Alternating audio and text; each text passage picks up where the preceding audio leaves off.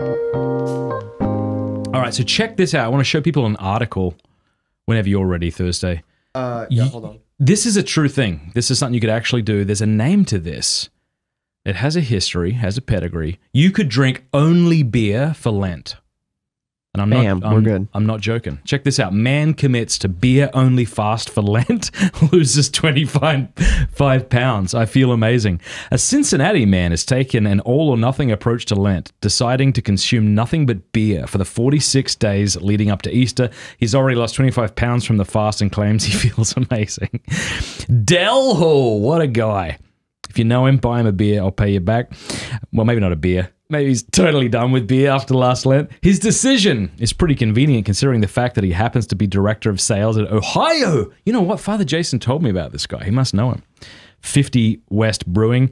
He said in a YouTube video that slimming down was one motivation for his drastic decision. He had a starting weight of 292.5 pounds, which was the most he's weighed in six years. It was pretty rough to see, he said. But Hall actually took his beer fasting cue from an ancient tradition. There you go, that's, that's what I meant. Practiced by monks in the 17th century. Paulaner, is that how you say it? Monks moving from southern Italy to Bavaria in the 1600s lived by strict rules, and one of them was to banish all solid food during Lent. Side note, I once was staying with the Companions of the Cross in Ottawa, and an elderly priest whose name I've forgotten was going on a no solids Lent. Isn't that cool? Yeah, Much somebody in the live chat just said the beer thing sounds like the opposite of Lent. Do you want to explain why that is? Dude, listen. What do you want to do? Wake up. Imagine the first day would be fun, but the second day, morning, time for breakfast. Shh. I don't know if it would be fun after the third or fourth day. You also have to imagine that by the end of Lent, your tolerance is so good that you're never drunk ever, Ever again. again. Like you could never even be buzzed. Ever. To be clear, we're not talking about drinking in moderation, obviously. We're not talking about drunkenness. And we're not talking about drinking Coors Light. Like, you would die, I think. Like, well, that's not true. You could fast without food for at least 40 days. You'd be probably fine. But in order to get the kind of, what, the vitamins, the, the nutritional stuff you need, you'd want to be drinking stout. So anyway, let's keep reading.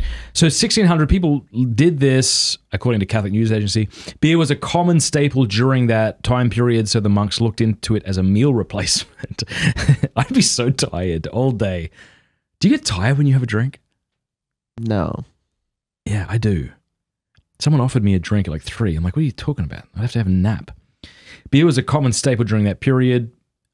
They would they wound up developing unusually strong types of beer to serve their fasting needs. Salvator, as they called it, was high in carbohydrates and nu- nutrients. It was now known as Doppeldop, uh, Doppel Doppelbock. Doppelbock, yeah. Hall, an army veteran, said the monk's practice fascinated him and he wanted to see if he could push himself to the limits by replicating what these men once did. He also believes that in general, going without food is crucial from time to time. Fasting is a big part of being a human being, he said after his eighth beer. It didn't say that. I made that up. Um, anyway, that's pretty cool. So you could do that. You could give up everything but beer. Look at that guy. Thank you for watching. Please subscribe or you're a dingus. What's a dingus exactly? Used to refer to something one cannot or does not wish to name specifically. You don't have to subscribe, but if you did, I'd love it. You dingus. like the video. That's who we're using that one. Take one.